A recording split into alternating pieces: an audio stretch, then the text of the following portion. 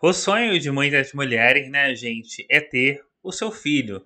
E a Laiane, que a gente está vendo nas imagens, virou assunto na mídia por um motivo triste. Ela estava ali, né, naquele momento de ter o seu bebê, foi até a maternidade.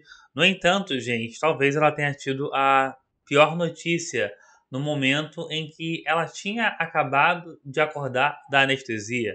Já estava tudo certo, ela estava já na esperança de pegar o filho no colo.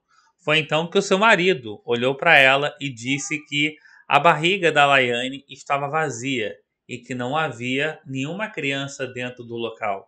O problema, gente, é que a Laiane havia feito todos os procedimentos médicos, né, que uma mãe faz para ter o seu filho.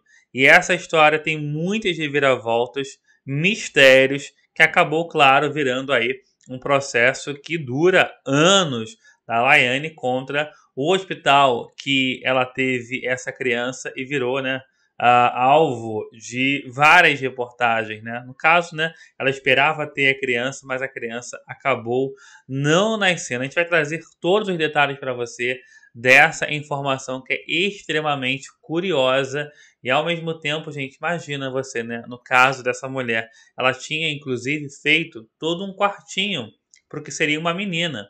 E a criança já tinha até nome, Sofia.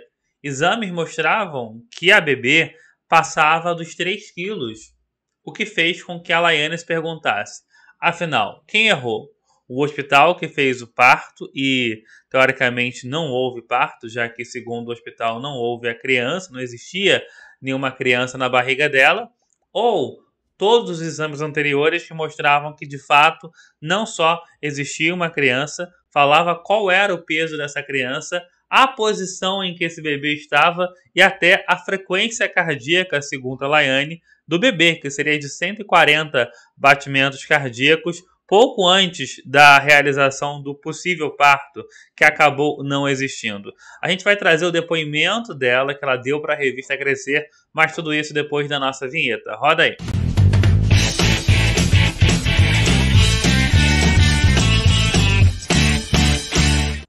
Era para ser um dos momentos mais esperados na vida da jovem Laiane. Casada com um humilde serralheiro, eles estavam na expectativa do nascimento da sua filha, que já tinha até nome, a Sofia. Procedimento né, estava ocorrendo tudo bem, ela fez o pré-natal, procurou os médicos, uh, fez exames de ultrassom, descobriu né, que o sexo da criança que viria a seguir era o sexo feminino, por isso a escolha do nome Sofia, e ela ia constantemente nos médicos, até que por volta da 36ª semana, conforme mostra essa reportagem publicada pelo site da revista Crescer, aliás, na 39ª semana, só corrigindo, gente, ela começou a ter o que seria seriam né, as contrações de uma mulher grávida, né, normalmente. E ela começou a procurar o hospital, né? Ela foi lá, mandaram ela voltar para casa, disseram que a dilatação não estava tão grande como deveria ser. Depois voltou de novo para o hospital porque sentia as dores do parto. Estava realmente ah, em torno de uma gravidez, ela estava justamente na hora em que deveria ter de fato esse parto. Segundo, gente, a Laiane ela fez um exame né, no hospital pouco antes né, da realização do que deveria ser o parto dela. E esse exame indicou que a criança, né, que estaria na barriga dela, tinha os batimentos de 140 né, por minuto. Ou seja, era ah, realmente algo normal, parecia tudo bem, tudo ok. E aí, a Laiane ela conta que o médico foi, deu anestesia nela, o que também é um procedimento né, que ela entendeu naquele primeiro momento que era normal, mas ao acordar o marido olhou para ela e disse: Olha, não há nada na sua barriga. Não há criança nenhuma na sua barriga. E aí vocês imaginam, né, para uma mãe que estava na expectativa de ter essa criança, tinha feito todos os exames, tinha os papéis ali, os ultrassons mostrando o formato da criança, o peso da criança. Como é que ela não estava diante de tudo isso? Então ela começou a se questionar: meu Deus, fizeram alguma coisa com o meu bebê. E a gente vai contar para você na sequência o que acabou acontecendo e o que a Laiane disse diante de tudo isso. Antes, um recado rápido para você que não está inscrito aqui no canal. Para fazer isso é rápido e fácil, basta você clicar no botão vermelho da inscrição.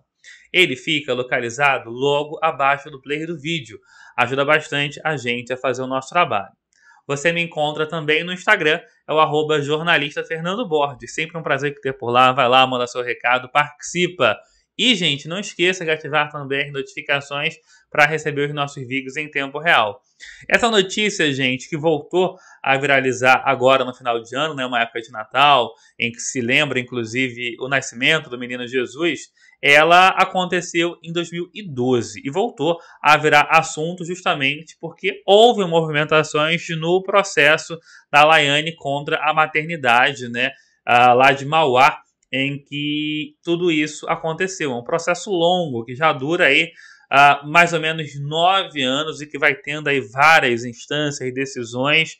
E aí, né, a Laiane, em, em entrevista né, à revista Crescer, ela deu um depoimento do momento em que ela foi ter o que esperava, né, o filho dela. Quando me deitei, o médico disse que ia aplicar uma anestesia.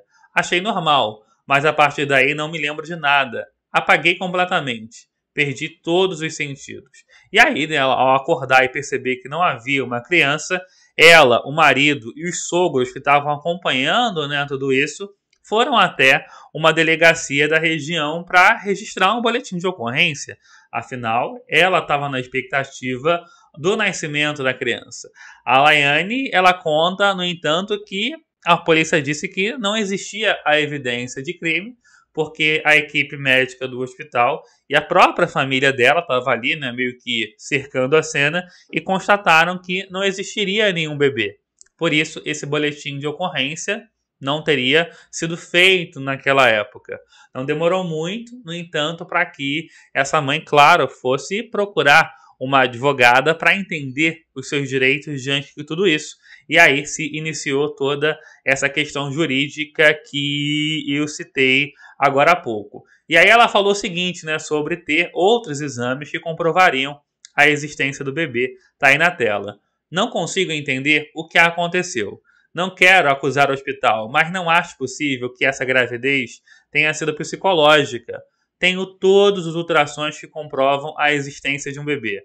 Algo, um erro muito grave aconteceu, ou da parte dele, deles, ou da parte dos médicos que fizeram meu pré-natal. E é isso que eu preciso descobrir.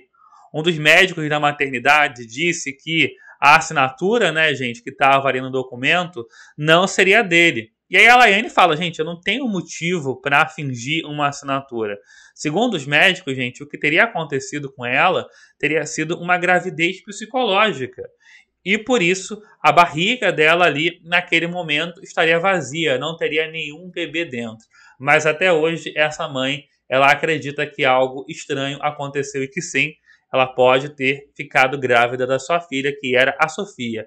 E eu pergunto a você, o que você acha que aconteceu? Comenta aí. Te encontro na próxima conexão. Tchau, tchau.